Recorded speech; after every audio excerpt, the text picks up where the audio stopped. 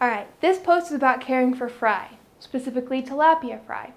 You could be raising your own fry for several reasons. The first is that it's cheaper than buying fry. It also gives you the freedom to breed towards certain traits, like heat tolerance. Our fish, for instance, aren't pure Nile tilapia. They're a hybrid between Oreochromis niloticus, which is Nile tilapia, and Oreochromis aureus, which is a fish native to the Sea of Galilee. It's also called St. Peter's fish. Because we've been breeding our own fish for many generations now, we've been able to hybridize a fish that is both warm tolerant, like aureus, and has the production levels of niloticus. It's pretty cool, right? For more information on breeding tilapia, you can check out our breeding post.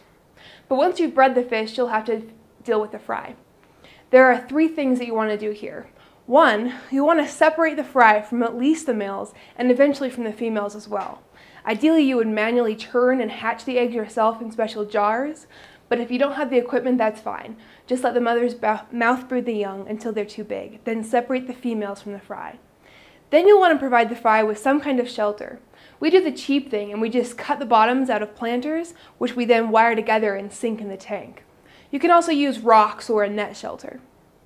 The best thing to do once the fry are a couple inches long and too big for the brood tank would be to redistribute the mature fish and get the fry into their own tank.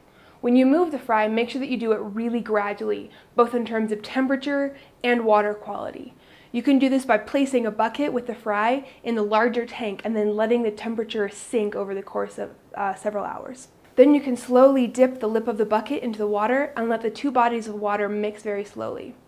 When it comes to feeding fry, you have the option to use regular food, uh, just ground up, but we recommend using a high protein fry powder. This is easier for them to digest and eat, and it allows them to grow out big and healthy really fast.